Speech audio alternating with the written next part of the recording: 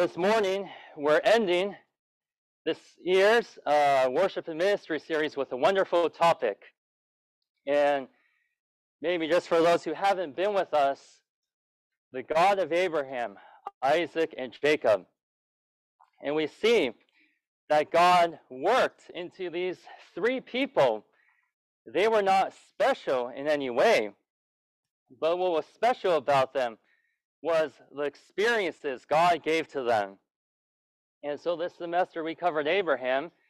In the original language, Abraham means father of a multitude. Okay? We okay? Father of a multitude. And we see how Abraham was called by God, chosen by God. Abraham, in every sense of the word, became a father, and he experienced God as the Father. He had to learn to take God as a source, to learn to trust in God and not to trust in himself. And then we came to Isaac. Isaac, we see as a picture of Christ, the Son of God. How Christ was born according to promise, not according to the flesh. You remember that? And then in Genesis 22, Isaac was offered by his father Abraham on Mount Moriah. And that's a picture of how Christ, right, was obedient unto death, obeying the will of the Father, and then returned to Abraham in resurrection. And last week, Larry shared with us from Genesis chapter 24 how Isaac, being married to Rebekah, is a picture of how Christ ultimately will marry the church, his bride. Well, this week we want to see another aspect of Isaac, which I believe will be wonderful and encouraging, especially in this time of finals. Being New Testament Isaacs by living a grace enjoying life. So, on the one hand, the Lord is typified by Isaac, but actually we have to see Isaac is also us as believers. We can also be an Isaac. And so I just like to bring to us this definition of grace. Grace is the triune God received, enjoyed, dispensed, and worked into us that he might be our life, our life supply, and our everything. Have you ever heard that before?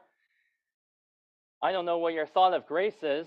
Um, you know, I learned this recently that every epistle of Paul ends with grace. Grace be with you.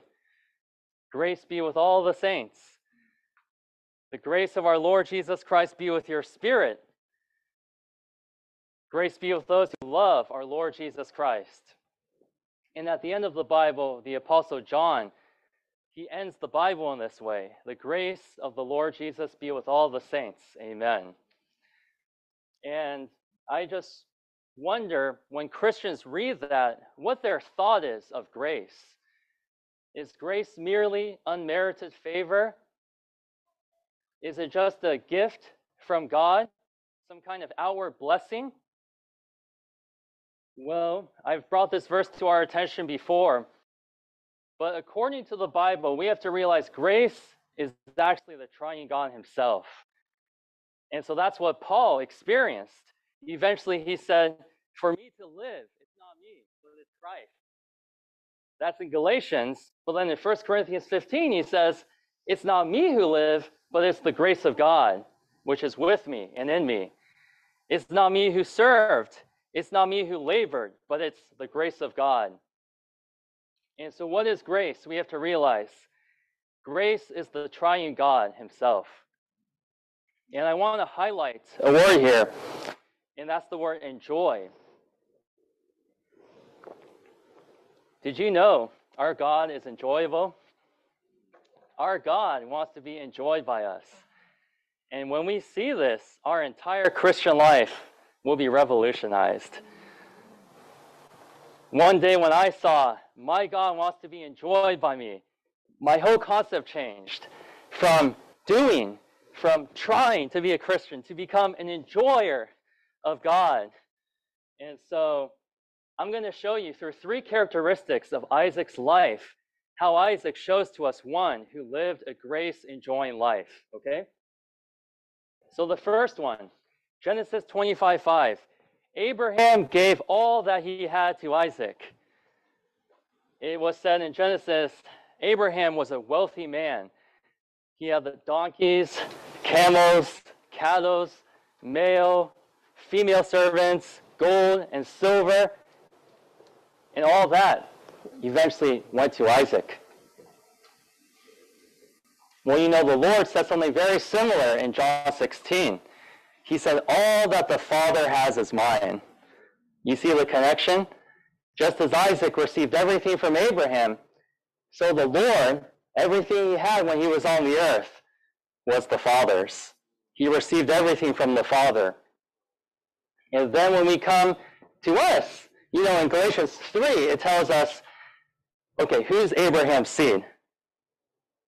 We've been talking about this. You know who Abraham's seed is. It's Isaac, right? Galatians 3 also will tell us Abraham's seed is Christ.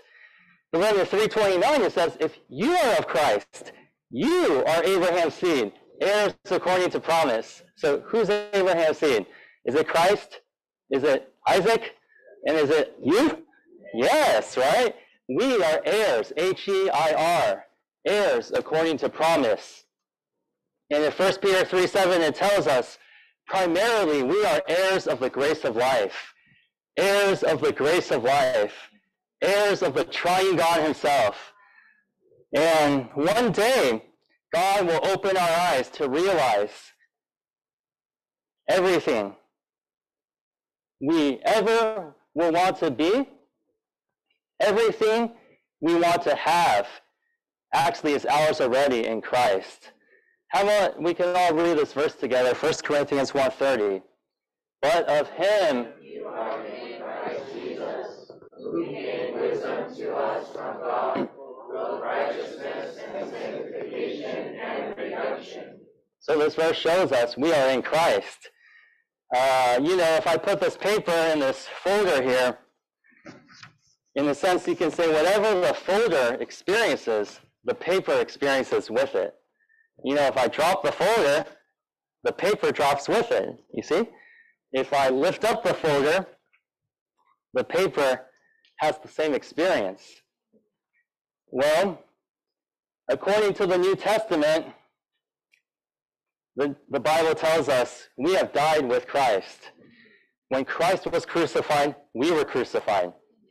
So you see, one day God will open our eyes to see we're not trying to overcome sin when I was a young Christian, I was, oh, if only I could overcome that besetting sin. You know, you know what I'm talking about?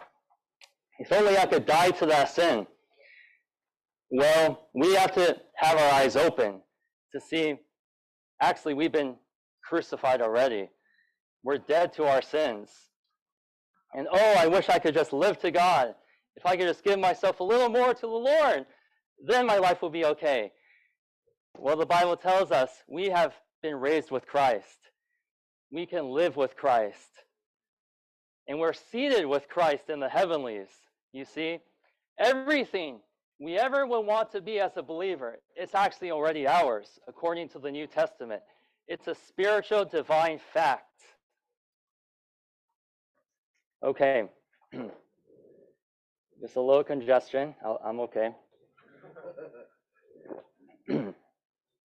okay.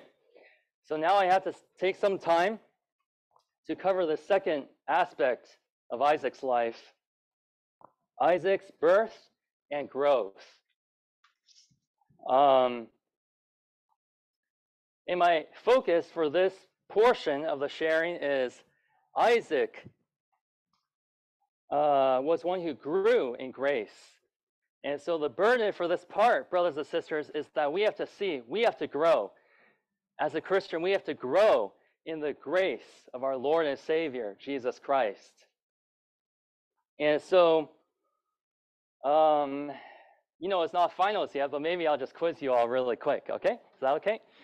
Uh, where in the Gospels do we see something of the Lord's early life and childhood? Which Gospel shows us something of the Lord's early life and childhood? Yeah, Luke. Okay, so the serving one got it. Okay. You know, not much is mentioned of the Lord's early childhood, how he grew up. Most of the Gospels begin at the time of the Lord's public ministry when he was already 30. And in the same way, actually, Isaac, not much is mentioned of his growth, his birth.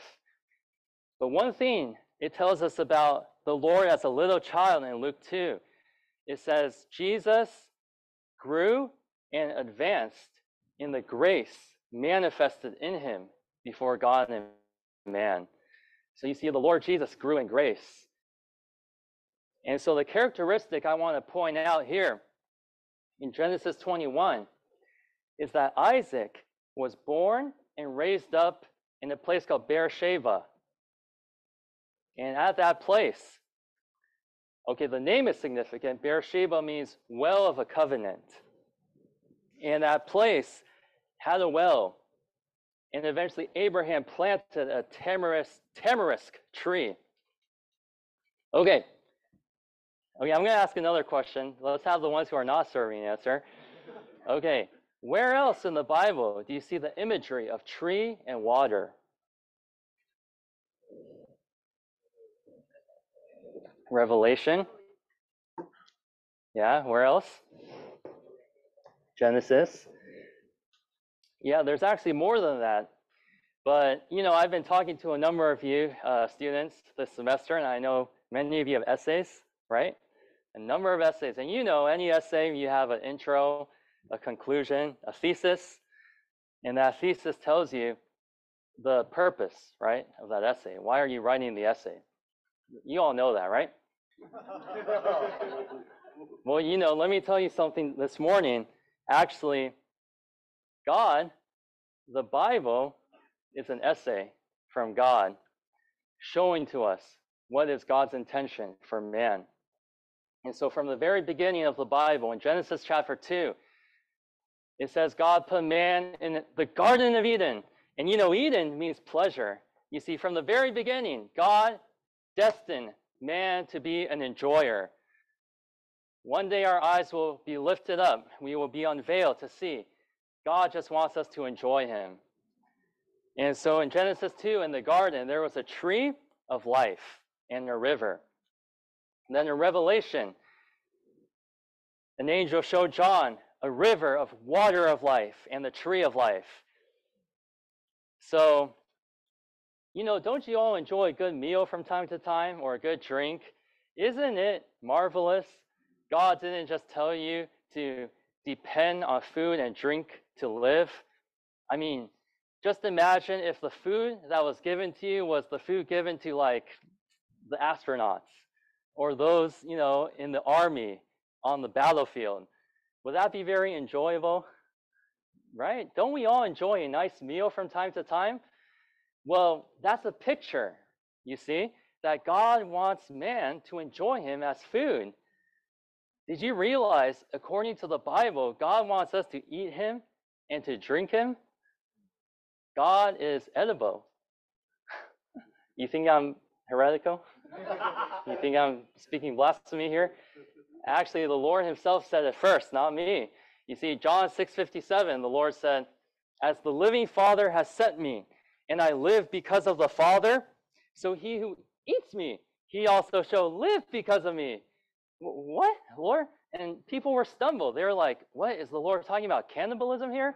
But no, no, the Lord is saying he's the divine life, and we can eat of him. And then in John 4:14, maybe before I go to John 4:14, I, I just want to tell you what John 4:13 says. The Lord speaking to a woman at the well, actually it was Isaac, Isaac's well.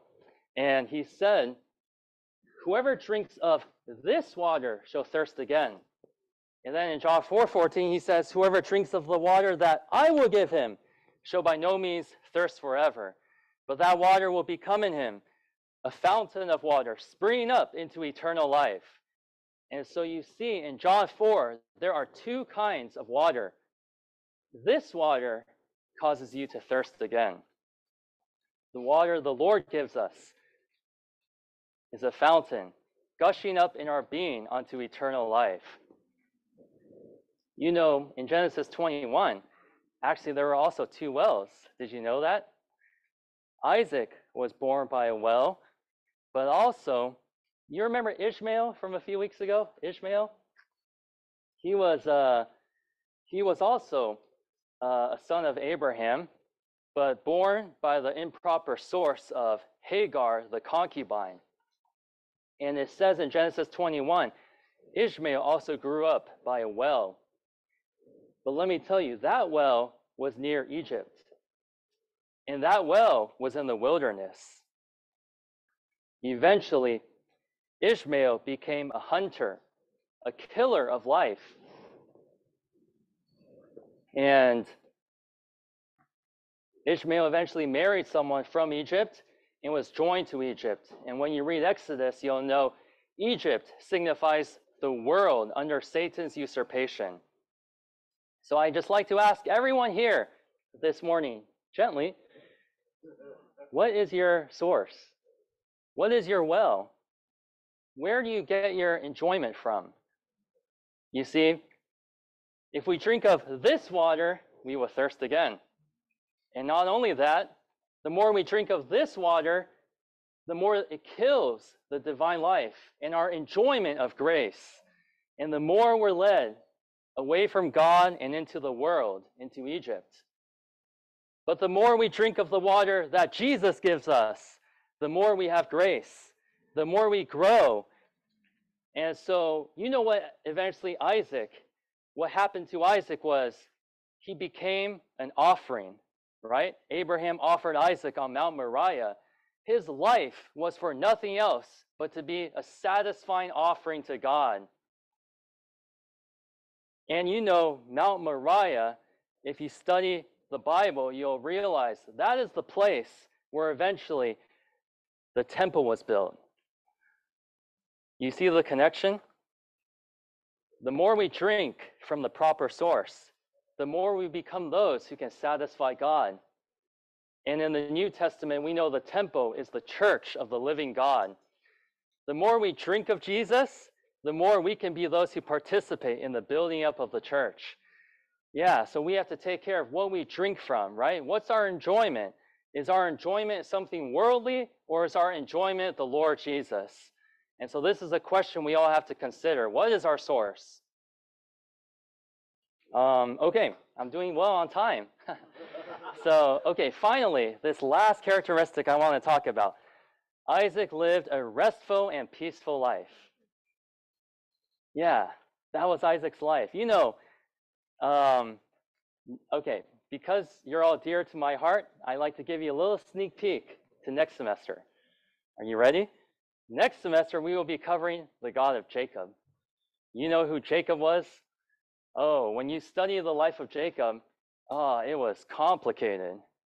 It's like even more complicated than Abraham. I think Paul told us a few weeks ago Abraham was involved in World War Zero, you know, the international conflict. But with Jacob, oh, you know, the, the wives, the children, oh, the conflict, oh, he was crafty. Jacob, even you can consider him an evil person. And eventually, God had to lead him through so many experiences.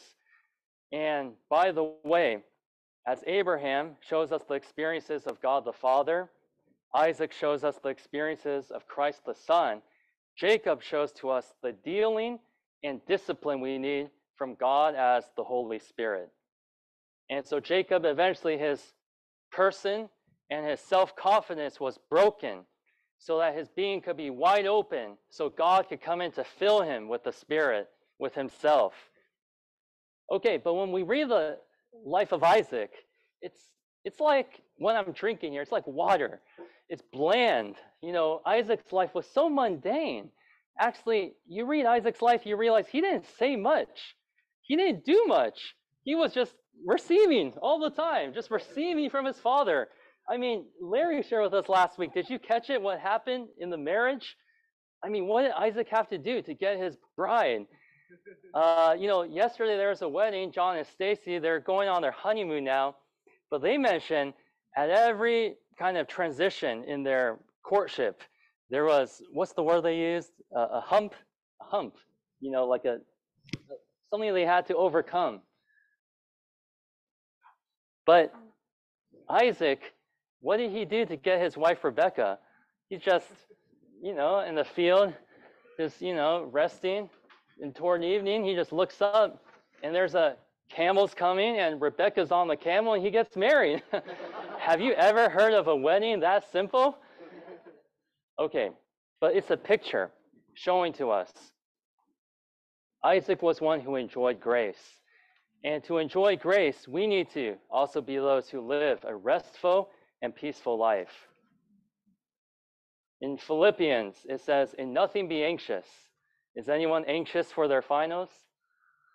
It says, But in everything, by prayer and petition, with thanksgiving, let your requests be made known to God. And the peace of God can guard your hearts and your thoughts in Christ Jesus. You see, this is a a characteristic of one who enjoys grace. You're resting, you're peaceful, you're not struggling, you're not fighting, you're not trying to be a Christian. Actually, you just let go. You realize everything I have is from my Father. I don't need to worry, I don't need to strive, be anxious. All I need to do is receive from God Himself. And I'll tell you, someone you just look on the streets, or you know, even in your classes, anytime someone is not supplied, they're not a happy person. You know, during Dead Week, I heard a lot of complaining and moaning and groaning, but you know, that's just what we are when we're not supplied, right? When we're not under grace, everything under the sun bothers us. Everything under the sun irritates us. But when we enjoy grace, everything is fine. Everything is enjoyable. Even Paul and Silas, when they were in prison, not a very pleasant situation. They could be singing hymns of praise to the Lord. They were just there resting, enjoying God in prison. You like that? Is your final a prison? Well, learn to enjoy God as grace. Um, Anyways, I think that's all I have for you this morning, brothers and sisters. But may we be those who are satisfied with such an ordinary, even mundane life. Lord, I'm not here for something spectacular. I just want to be day by day under the divine dispensing of grace. Lord, I just want to be an enjoyer of grace. So simple. And maybe just at the very end of this worship ministry series for this semester, what if we just pray together? Is that okay? We just pray for you all. Lord Jesus, we thank you. Thank you, Lord, you're our grace. Thank you, Lord. You want us to enjoy you. Lord, we just want to be satisfied living an ordinary life under the divine dispensing of grace. Lord, we pray especially for all the students as they're coming to their finals. May they be real Isaacs, resting, enjoying, oh, peaceful. Your word says, and nothing be anxious. Oh, we claim it. Lord, it's our portion. It's our inheritance in Isaac, in Christ. Lord Jesus, continue to bless each and every one of us, even as we go on break, to enjoy you more and more as grace even day by day to grow in grace. Lord Jesus, we just tell you we love you. Thank you. Amen. Amen. Okay, I'll stop here.